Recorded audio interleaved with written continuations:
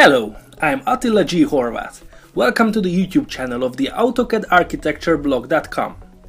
In the previous video I presented you how to insert doors and reposition within the wall. And in this video I'll present you how to create opening end cap and move doors along the wall lengths.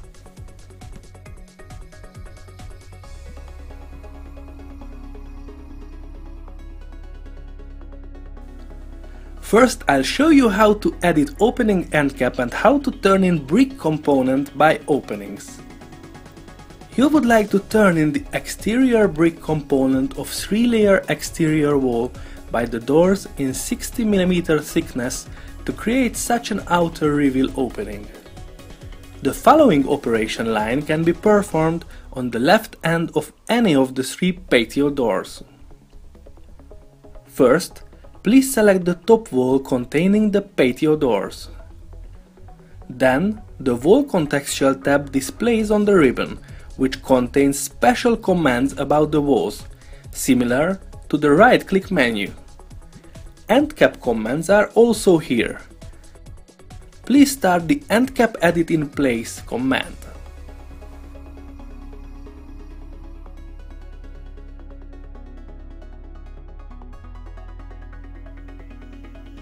When the select a point near end cap command displays, please select the left side of one of the openings at the wall.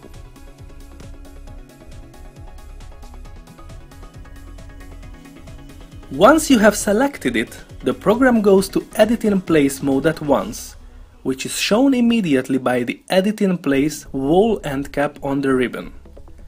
Please note that until you finish editing with one of the last three buttons, program will stay in this operation mode. If the end of the exterior brick component is not selected, please throw away the selection with Escape and select it with a left click.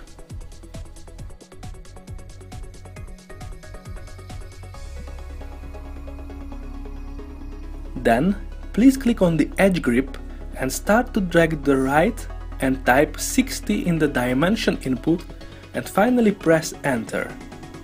Then you can see how to create the two new edges.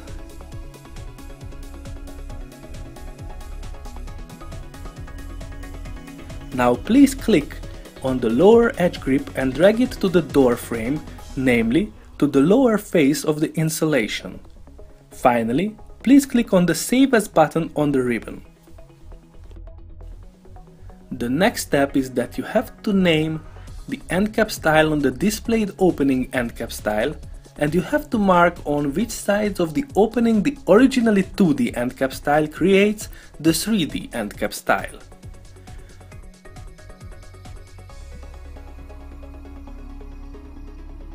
Please type door 3D name in the save as new opening end cap style cell, door 2D name in the save as new wall cap style cell, and let the end, the head and the start page checkboxes on. It means that down at the seal turning in brick component is not desired. At the apply the opening end cap style, please turn on the default for this type of opening. Finally, you can press OK to close the panel. If you worked well, the new opening end cap style applies at the inserted doors, patio doors. Let's see now how to modify patio doors. Because of turning in the brick component, the 50mm wide frame of the patio doors sank in the reveal. In the following, the door frame is enlarged to 100 mm and the size of the doors will be changed from 1600 times 2400 to 1700 times 2500. Please make a left click and select the middle patio door and then start the select similar command from the right click menu to be chosen all three doors.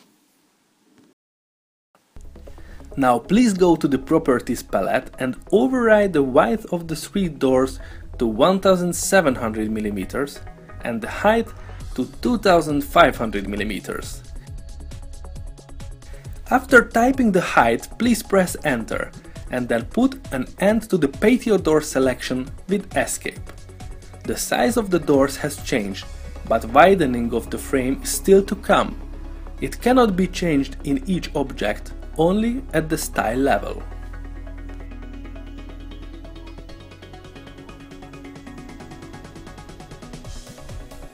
Please select one of the patio doors, make a right click and start the Edit Door Style command from the drop-up menu. Please remember that the Door Style Properties panel can be started from the ribbon if you click on the Edit Style button. On the Displaying Door Style Properties panel, please click on the Dimensions tab and in the frame field override the A width to 100 mm. Finally, please press OK to close the panel. The width of the patio doors has changed.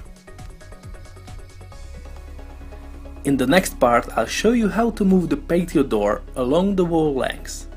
The original 1360mm distance between the two openings got slimmer by widening patio doors. In the following you will restore it by moving the door along the wall length.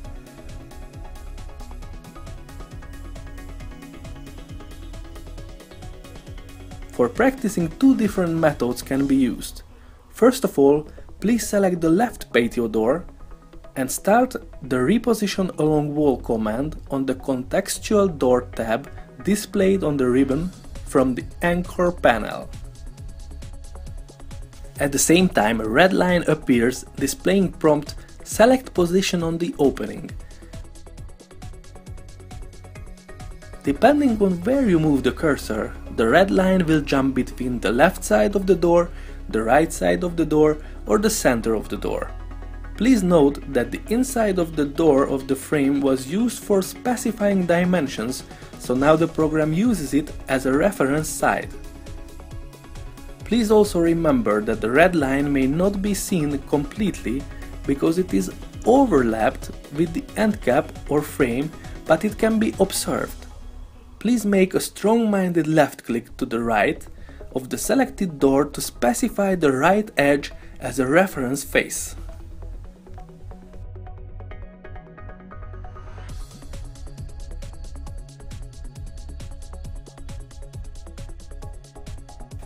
The next prompt is select reference point. Then, using snap to endpoint, please select the left edge of the middle opening on inside of the frame. During selection, the current distance between the two points is written in a dimension input 1210 mm. Enter the new distance between the selected points command prompt displays and the relevant dimensions input will be active, will be blue. Please type 1360 mm and press enter and then with escape put an end to the selection.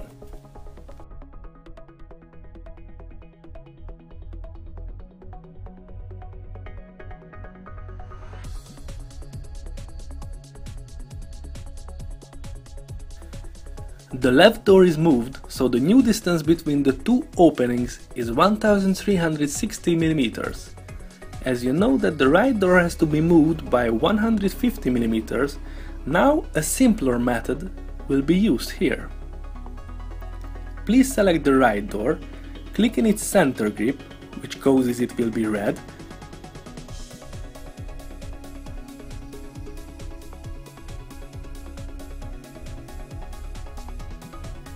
and please drag the cursor horizontally to the right, then type 150 and finally press enter. Please note that the accurate horizontally dragging is not a strict demand, but it is important to show the new direction to the right. The new status should be like here.